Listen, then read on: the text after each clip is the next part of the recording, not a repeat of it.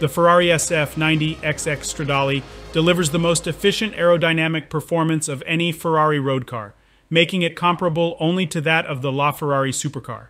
It delivers double the maximum downforce of the SF90 Stradale, improving grip and yielding a palpably faster lap time at Fiorano. The product of Maranello's inestimable racing experience, this result was achieved by redesigning the cooling flow management for the thermal and electric components as well the engine compartment.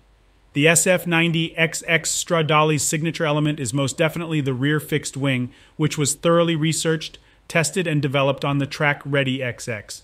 This is an element with enormous aero potential and has been perfectly integrated into the car's volumes thanks to close collaboration with the Ferrari Styling Center. Its shape was dictated by the need to efficiently hone the way in which the pressure field created by the wing interacts with the complex pressure and back pressure systems that develop around the shutoff gurney. The latter, also redesigned, has two configurations low drag, in which the mobile element is raised, minimizing drag, while in high downforce, the mobile element is lowered, uncovering the fixed area. This generates an overpressure area, which deflects the incoming flow vertically to deliver the absolute maximum downforce possible, 530 kilograms at 250 kilometers per hour.